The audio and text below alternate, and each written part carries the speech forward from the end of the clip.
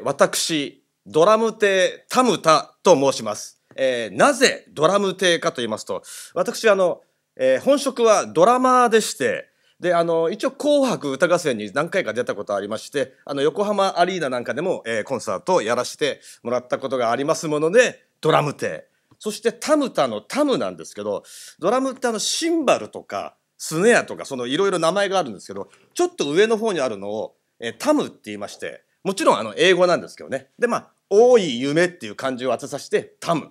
で、あと僕、あの、ドラマーでありつつ、リズム運動で、えー、幸せホルモン、セロトニンをいっぱい出して健康になろうなんていう、まあ、こあの、ワークショップというか、授業みたいなこともよくやっておりまして、でそのセロトニンっていうのが、リズム運動でも出るんですけど、太陽の光を浴びることでも出るんで、太陽のタをつけまして、タムタ。そして、私の名前、ムタっていうんで、え、ドラムテタムタと申します。はい。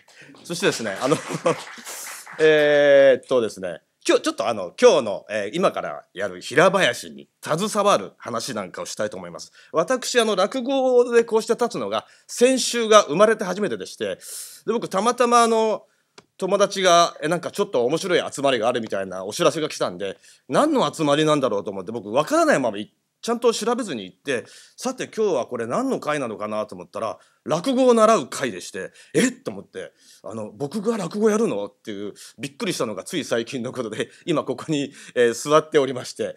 であのー、当然、えー、着物も何も持ってなかったものですから、えー、これはまずは形からだなと思って着物を買わなきゃなんて思いましてね。でこの携帯電話を手に取りまして着物かっこいいっていうのがこのジーンズの着物が出てきたんであこれはいいやと思ってパッて言ったらもうすぐ届きましてね。でパッて開けてみたらなんと帯がないって僕あの着物買ったら帯はついてるもんだと思ってたんであないなと思って慌ててまた帯って帯って入れたらあのこのちょっとかっこいいベルトみたいなのが出てきたんで帯着て今日はあの無事に着物がはだけずに、え座って降りれまして。であの携わる話なんですけどねこの携わるって感じにこの帯って漢字をくっつけると携帯電話とも携帯とも読む。なんで、えー、漢字とはいろいろな読み方があるものだなぁなんて、えー、落語を行いたいと思います。おい、佐田吉。はい、番頭さん。ちょいとあの、この手紙を届けてきてくんねえか。番頭さん、手紙なんてポストに入れればすぐ届くじゃないですか。いや、そうなんじゃがな。ちょっと急ぎのようなんだ。この手紙をこれ道まっすぐ行って川渡った平川町の平林さんのとこに届けてきてくれ。はい、わかりました。あ、番頭さん、今あの足お風呂沸かしてるんでお風呂が沸いたら行ってきます。あ、なんだおめえさん。お風呂沸かしとったのか。じゃあお風呂は私が見とくからお前さんは急いでその手紙を届けてきてくれ。あ、はい、わかりました。で、どこに届けるんですか？いやいや、だから今言っただろ。道まっすぐ行った平川町の平林さんだ。な、そこへ、はい、行っといて。はい、わかりました。あ、そうだ、番頭さん。湯の沸かしすぎに注意してくださいよ。ちゃんと見とかないと、あの、熱くなって後でおかみさんに怒られますから。分かったから分かったから。早く行っといて。はい。で、どこに届けるんですか？いやいや、だから今言っただろ。まっすぐ行って、平川町の平林さんだ。その辺平林さん一人しかいなくてね、平林さんいつもふらふら歩いてるから、平林さんっつったらすぐ出てくるからな。言っといて。はい、わかりました。あ、番頭さん、あの、湯の沸かしすぎに注意してくださいよ。沸かしすぎると、昔ほら、番頭さんが好きだった、熱湯コマーシャルの熱湯風呂みたいになっちゃいますからね。ああ、熱湯コマーシャルな。あれ、なんかワクワクしたよな。飯島直子とかよかったあそんなことはどうでもいいんだ。早くお前あの急いでその手紙を届けてきてくれ。はいわかりました。でどこに届けるんですか？お前はもう物忘れの名人だね。じゃあ分かんなくなったらその手紙のなそこに「平林さん」って書いてあるからそれ読めばいいだろう。で平林さんって言えば出てくるから。番頭さん、えー、字が読めたら苦労しませんよ。あっし、夫さん、じいさま、うちは先祖代々みんな字が読めねえんです。なんだお前字が読めないのか。それは勉強しないといけないね。じゃあ今度私が教えてあげるから。弱ったな字が読めなくて物忘れも激しいか。そうだお前さんなずっと平林って言いながら歩きなさい。そしたら忘れないだろう。あ、わかりました。番頭さん、頭いいや。よし。平林、平林、平ば、あれ？あそこでなんか、お祭りがやってるぞ。何のお祭りだろう？ちょっと聞いてみよう。すいません。今日のこのお祭り、なんていうお祭りなんですか？なんだお前さん、こんな有名なお祭りを知らないのか？これはな、山崎春のパン祭りって言うんだぞ。え？山崎春のパン祭りって、保土ヶ谷でやってたんですか？そうだよ。ずっと保土ヶ谷でやってるんだよ。今急いで行けば、あの白いお皿がもらえるから、急いで行っといで。はい、わかりました。松高子、松高子、松高子？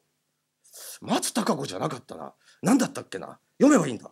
あ、そうだ。字読めねえんだった。どうしようかな。困ったな。あ、あそこにいるおじさんに聞いてみよう。おじさん、すいません。この宛名読んでください。はいはい。なんだおめえさん、こんな字も読めねえのか。これはな、平清盛の平に林と書いて、平林って読むんだ。わかったかい？はい。はい、ありがとうございます。平林、平林、平林？なんか違う気がするな。平、あ、あそこに綺麗なお姉さんがいるから、綺麗なお姉さんに聞いてみよう。綺麗なお姉さん、すいません。この宛名読んでください。はい、はい。何？平林？男の人はもうすぐいい加減なこと言うんですが、いいですか？これは平たいの平に森林の林で平林っていうもんですよ。わかりました？はい。ありがとうございます。ひらりん、ひらりん、ひらりんりん、ひらりん、ひらりん、ひらりんりん、ひらりんりん。こんなワクワクする名前じゃなかったな。困ったな。あ、こういう時はおじいさんに聞いてみよう。すいません。おじ、そこのおじいさん、あの、この読み方教えてください。はいはい。ところでおめえさん、字は読めるんか？いやな。字が読めると読めねえで教え方が変わってくるんだ。あ、そっか、読めねえか。読めねえ時は無理に読む必要ねえんだ。これ線があるから。これ1だ。で、ちょんちょんで8だ。で、10。で、木材が2つで、180の黙々って読むんだよ。わかったかい？はい。はい。ありがとうございます。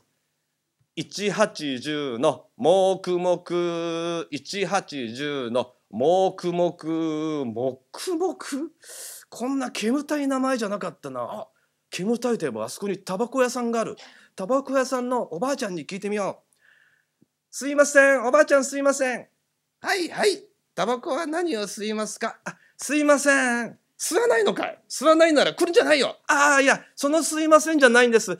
あのすいません。だから吸わないなら来るんじゃないよ。ああそのすもう吸います。子供だけど吸います。ああんたタバコ吸うのかい？いい子だね。どうどうしたんだい？あこの宛名ちょっと読んでもらっていいですか？はいはい。何？平林に平に180の黙々？もう色気がないですね。いいですか？字の読み方というのは色気が必要なんですよ。これ1と書いて1つ8と書いて8つ10と書いて「と」こっちの方が色気があるでしょ。で木が2つで1つと8つで「とっきっき」って読むんですよ。わかりましたか？はいありがとうございます。1つと8つで「とっきっき」1つと8つつでとっききって絶対違う。もう全然違う。こんなんじゃなかった。困ったな。どうしようかな。そうだ。今まで教えてもらったのを上から順番に全部言ってでこうやって見せながら言ったら「ああそいつは俺だよ」っつって気づいてくれるかもしんねえな。